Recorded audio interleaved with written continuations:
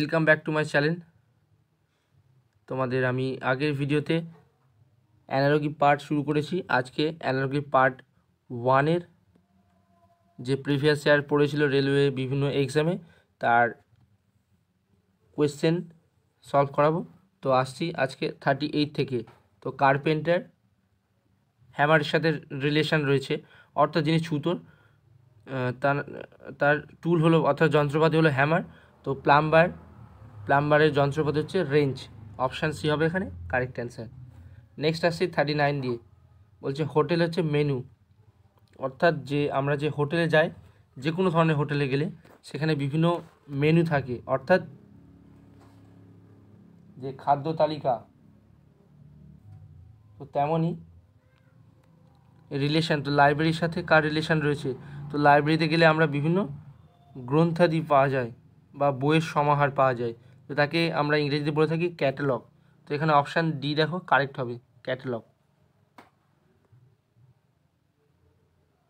Next আসছি question number forty আসছি।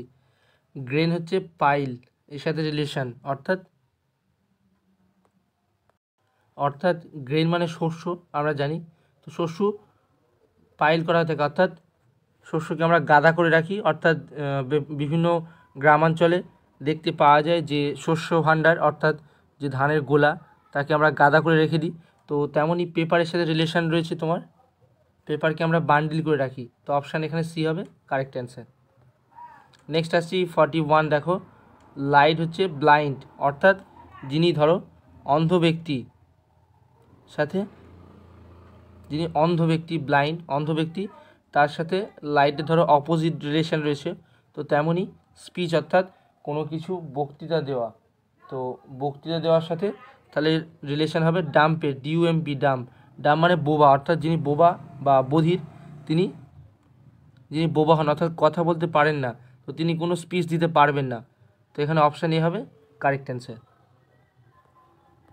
next question forty two Japan হচ্ছে গ্রিন ফিয়াজেন, অর্থাৎ এখানে দেখো সিরিজটি রয়েছে, জাপানের জাতীয় পাখি হচ্ছে গ্রিন ফিয়াজেন, অর্থাৎ সবুজ রঙের এক ধরনের পাখি। তো ভারতবর্ষের ন্যাশনাল বার্ড বা জাতীয় পাখি হলো পিকক, অর্থাৎ ময়ূর। অপশান সি হবে কারেক্ট অ্যান্সার। নেক্সট আসছি দেখো ফর্টি থ্রি আসছি, হাইগ্রোমিটার। তো হাইগ্রোমিটারের সাহায্যে আমরা জানি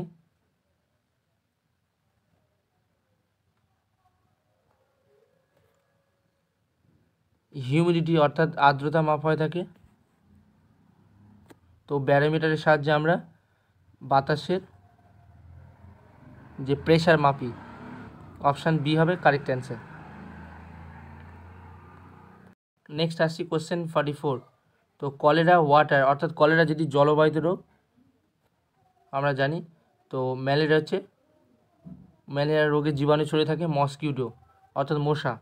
তো অপশান এখানে এ পার্ট একমাত্র কারেক্ট নেক্সট আসছি ফর্টি ফাইভ আসছি।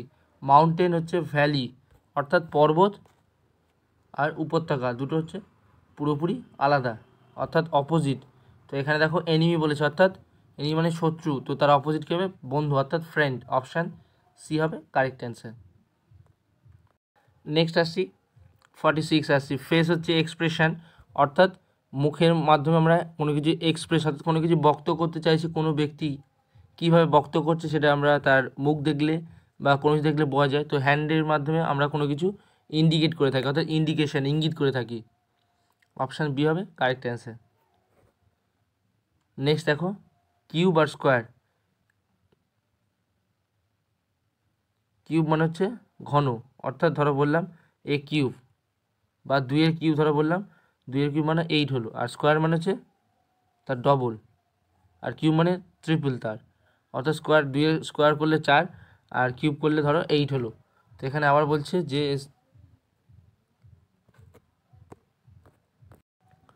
তো কিউবের দ্বারা যেমন এটা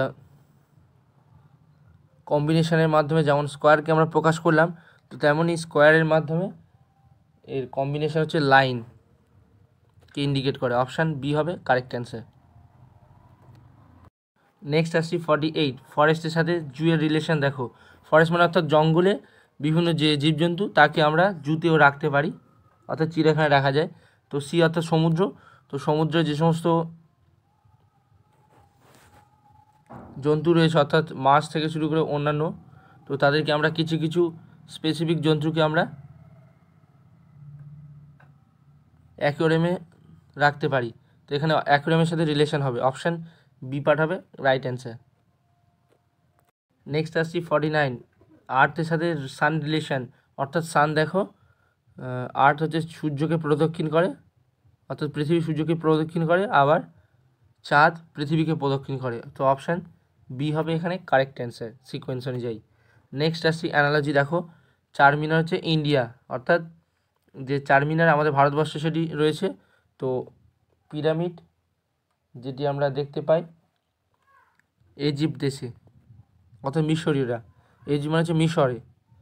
তো অপশান এখানে বি পাঠাবে কারেক্ট অ্যান্সার নেক্সট আসছি কোশ্চেন ফিফটি ওয়ান নিডল হচ্ছে সূচ।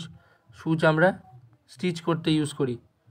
অর্থাৎ কোনো কিছু সূচের সাহায্যে সুতো পড়াই বা কোনো কিছু সেলাইয়ের কাজে ইউজ করতে পারি।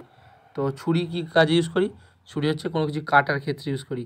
অপশান তো বি হবে কাট হবে রাইট অ্যান্সার নেক্সট আসছি দেখো ফিফটি টু পেন রাইট অর্থাৎ পেনের সাহায্যে আমরা কোনো কিছু লিখে থাকি, তো ছুরির সাহায্যে কী করি? সিমিলারলিভাবে ছুরির সাহায্যে কোনো কিছু কেটে রাখি, বা কাট, কাটা যায়, ফল কাটা বা অন্য জিনিস যে কোনো জিনিস কাটা যায়, তো অপশান সি হবে রাইট অ্যান্সার কাট নেক্সট দেখো ক্যাট হচ্ছে কিটেন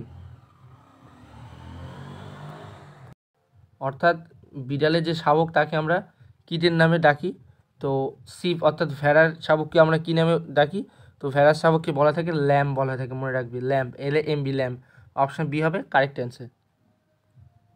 নেক্সট আসছি, ফিফটি ফোর, হাউস হতে, হাউস অ্যান্ড হোম রিলেশন রয়েছে। অর্থাৎ বাড়ির হাউস এবং হোম।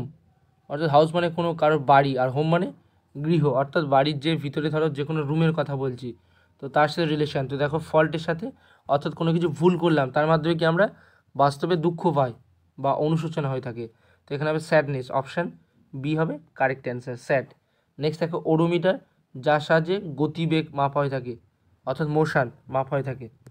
তো অ্যামমিটারের সাহায্যে আমরা কোনটা মেজার্স করি? তো অ্যামমিটারের সাহায্যে আমরা প্রবাহ বা কারেন্ট পরিমাপ করা হয়ে থাকে। তো অপশান সি হবে কারেক্ট অ্যান্সার নেক্সট আসছি ফিফটি সিক্সে হকি হচ্ছে ফিল্ড অর্থাৎ হকি আমরা খেলে থাকি মাঠে। তো ব্যাডমিন্টন যেখানে খেলি তাকে বলা থাকে কোর্ট বলা থাকে। অপশান ডি হবে কারেক্ট অ্যান্সার পরবর্তী আসছি কোশ্চেন ফিফটি সেভেন জাপানের মুদ্রা হচ্ছে কে বলা থাকে ইয়েন বলা থাকে। তো কোরিয়ার মুদ্রাকে আমরা কোন, কী হিসেবে আখ্যা দিয়ে থাকি? তো কোরিয়ার মুদ্রাকে আমরা বলা থাকি yuan W A N W A N yuan next আসছি ফিফটি এইট আর্মি হচ্ছে সোলজার অর্থাৎ আর্মির মধ্যে কিছু শনিরা থাকে আমরা জানি। তো গ্যালাক্সি থাকে প্ল্যানেটের মধ্যে, গ্রহের মধ্যে। অপশান সি হবে কারেক্ট অ্যান্সার প্ল্যানেট নেক্সট দেখো প্রেয়ার অর্থাৎ প্রার্থনা। তো টেম্পল অর্থাৎ মন্দির আমরা প্রার্থনা করে থাকি। তো এখানে সিমিলারলিভাবে কুক কোথায় করে থাকি, অর্থাৎ রান্না কোথায় করে থাকি? তবে কিচেনে KIT CHN kitchen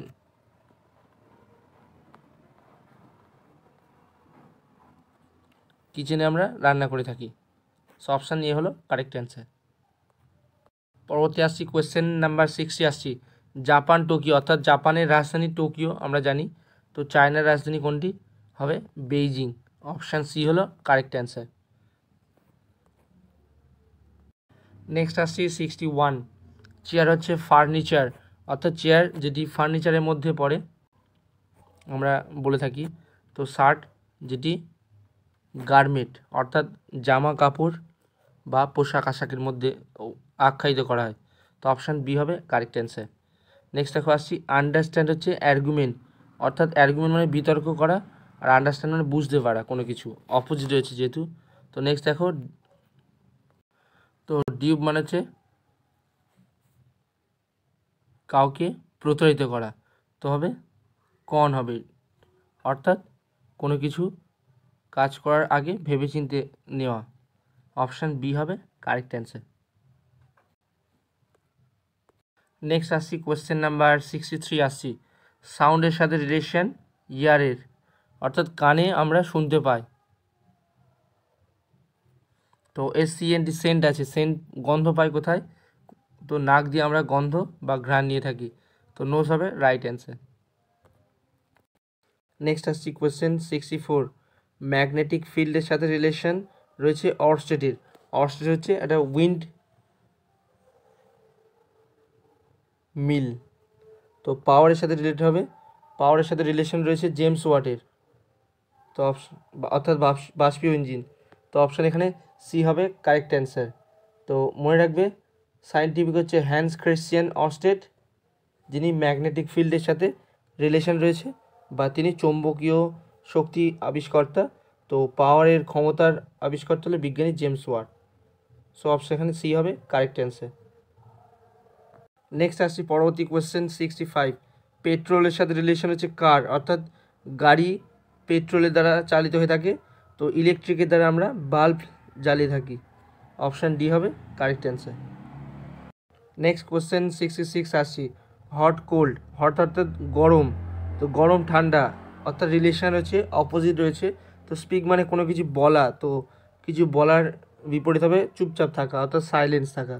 option D হবে কারেক্ট অ্যান্সার নেক্সট আসছি সিক্সটি সেভেন আসছি রিস্ট ওয়াচ অর্থাৎ আমরা জানি ঘড়ি পরে থাকি রিস্ট রিস্টে অর্থাৎ হাতে যে কবজি বলা হয়ে থাকে।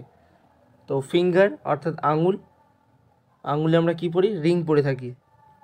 অপশান ডি হবে কারেক্ট অ্যান্সার নেক্সট আসছি সিক্সটি এইট আসছি। গ্লাস তো গ্লাসের সাথে রিলেশন দেখো ট্রান্সপারেন্ট অর্থাৎ স্বচ্ছ, অর্থাৎ আলো প্রবেশ করতে পারে। তো গ্লাসের মধ্যে দিয়ে, কাঁচের মধ্যে দিয়ে গ্লাসের মধ্যে দিয়ে। তো উড অর্থাৎ কাঠের মধ্যে দিয়ে কি? আলো প্রবেশ করতে পারে না, তবে অপেক, অর্থাৎ অস্বচ্ছ। অপশান ডি হলো exact correct answer